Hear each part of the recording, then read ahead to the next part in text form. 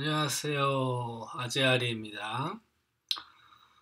어, counting sort에 대해서 한번 제가 영상을 만들어 보려고 해요. 그럼 시작하겠습니다. 음, counting sort는 sorting인데 좀 특이한 성질이 있어요. 그러니까 원래 보통 많이 하시는 bubble sort나 quick sort나 merge sort, insertion sort 이런 애들은 비교 기반 sort예요. 그 두 개의 어떤 sorting하고자 하는 값을 이제 보고서 비교를 수행한 다음에 위치를 옮기는 식으로 구현이 되고 이런 식의 알고리즘의 경우는 이제 n log n 이하로는 complexity를 줄일 수 없는 걸로 알려져 있습니다. 그런데 지금 설명드릴 counting sort는 오더 n을 달성할 수가 있어요. 오더 n을 달성할 수가 있다. 정확하게는 오더 cn으로 상수 c가 붙는데 이 complexity Big O function 개념에서는 상수값은 아무리 커도 곧 그냥 오더 n과 같이 쓸 수가 있죠. 네, 그럼 한번 코딩을 하면서 해보겠습니다.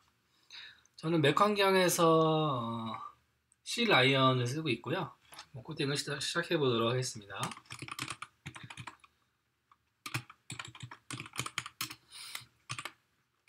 벡터를 하나 사용하도록 하겠고요.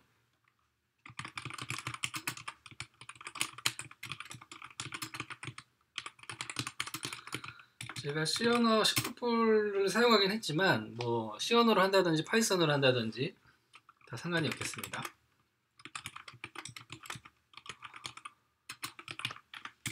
자, 먼저 sorting할 그 array를 하나 만들게요. array가 있죠. 어, 이게 GCC를 사용하고 있는데 initialize 이런 식의 initialization이 되는지 모르겠네요. 한번 테스트를 해봐야겠습니다. 숫자는 제가 그냥 키보드를 막 눌러서 임의로 이렇게 선정을 해보겠습니다. 이 정도면 될 것 같고요.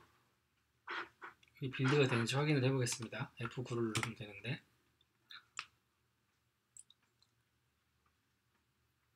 어, 예, 잘 인식을 하네요.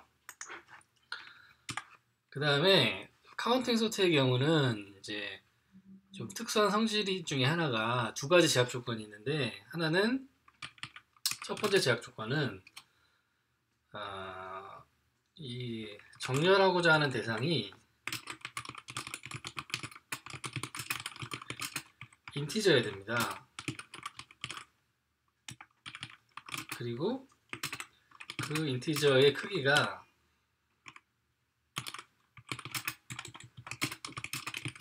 작아야 합니다. 왜 그런지는 이제 또 진행하면서 말씀을 드리겠고요. 그리고 이제 어 요거를 소팅하기 위해서는 메모리 공간 하나 만들어야 되는데 어, 뭐 맵을 사용할 수도 있고요. STL에서 아니면 그냥 배열을 사용할 수도 있는데 저는 배열을 사용해 보도록 하겠습니다.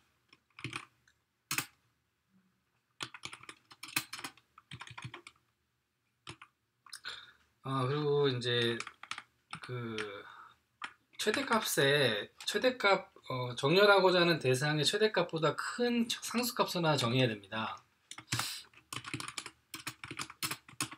지금은 최대값이 89이기 때문에 100 정도로 잡아보도록 하겠습니다. 그리고 100짜리 어레이를 하나 만들고요. 0으로 초기화를 하도록 하겠습니다. 그 다음에 음, 소팅을 시작할 텐데요. 방식이 어떻게 되냐면 그 이 100개짜리 어레이를 만든 것을 100개의 방에 있다고 생각을 하고 이게 수, 숫자가 써있는 공이라고 생각한 다음에 그 방에다 집어넣는다고 상상을 해보시면 될 것 같아요. 일단 코딩을 먼저 해보면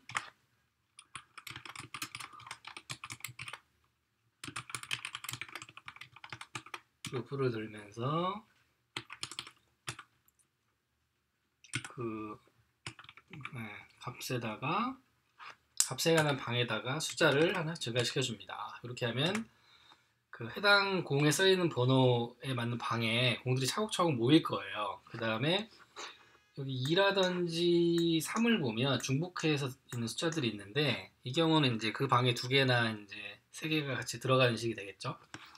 그 다음에는 방을 하나씩 순차적으로 이제 열람을 하면서 공을 꺼낸다는 식으로 생각하면 되고 그러면서 프린트를 하면 자연적으로 어, 소팅이 되게 됩니다. 제가 코딩을 먼저 한 다음에 컴플렉시티가 왜 오더에 있는지 설명드리고 조금 다른 예로 한번 다시 설명을 드려보겠습니다. 자 이제는 공을 집어넣는 과정이었고 빼는 과정을 설명드려 보겠습니다. 모든 방을 돌면서 그 방에 있는 공을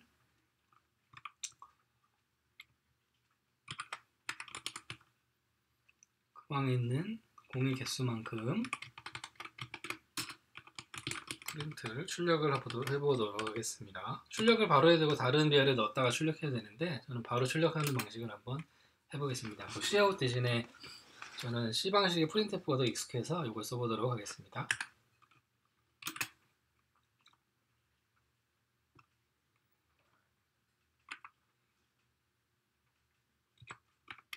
아 이거 되겠죠? 네 이렇게 해서 한번 돌려보면은 돌아갈지 모르겠네요. 네 여기 보시면 정렬이 제대로 된 것을 볼 수가 있습니다. 어, 일단 complexity를 설명드리면은 이게 오더 n이고요.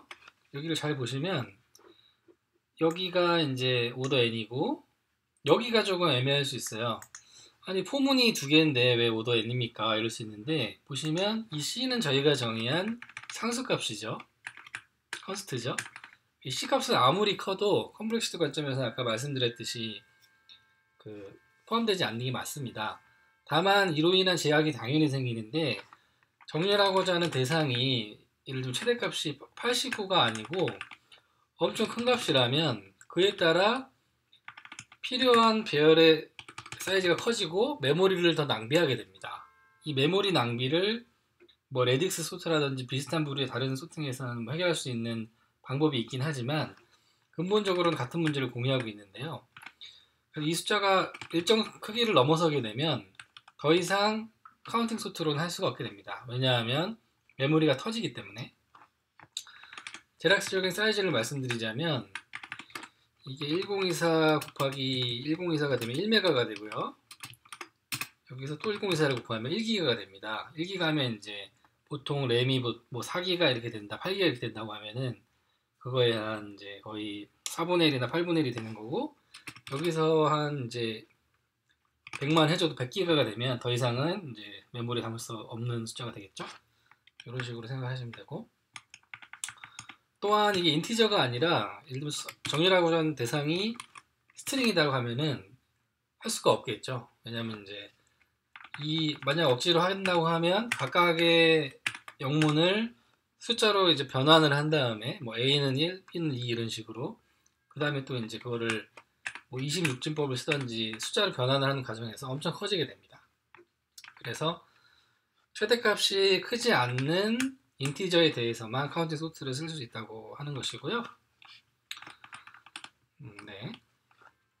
이로써 대략적인 설명은 됐고 어, 조금 이해가 안 가시는 분이 있다면은 예를 하나 다시 좀 쉬운 예를 한번 생각해 본다면 예를 들면 공들이 막 있고요. 좀 단순화를 해볼게요. 공들에 1도 써있고 2도 써있고 3도 써있고 이렇게 공들이 있다고 하면 예, 공이 정도 개수가 있고 그 다음에 바구니가 1번 써있는 바구니 2번 써있는 바구니 3번 써있는 바구니가 있다고 해보겠습니다 그 다음에 이제 정렬하는 과정이 이 공을 바구니에 넣는 과정과 동일합니다 아까는 좀 숫자가 커서 좀 헷갈릴 수 있는데 제가 이걸로 설명을 해볼게요 그러면 이제 방을 정리한다는 생각을 하고 이게 방에 놓여 있는 공들이라 생각을 하고 바구니에 집어넣는 겁니다. 1번 공은 음. 아니 이렇게 되지? 잘라내기를 하고 싶은데요. 음, 1번 공은 1번 방에 집어넣고 2번 공은 2번 방에 집어넣고 3번 공은 3번 방에 집어넣고 2번 공이 또 나왔죠? 2번 공은 다시 2번 방에 집어넣고 이런 식으로 하나씩 잘라서 넣다 보면은 1번이 하나 더 있고 더 있고 1번 하나 나왔고 2번이 하나 더 있고요 마지막 3번 네, 이렇게 정리가 될 것입니다 요거를 바구니별로 1번내기만 하면 소팅이 완료된다는 것이지요 해보자면 1, 2개, 2, 5개, 3, 2개 이렇게 하면은 정렬이 됐습니다. 네, 이상입니다. 이해가 되셨으면 좋겠네요.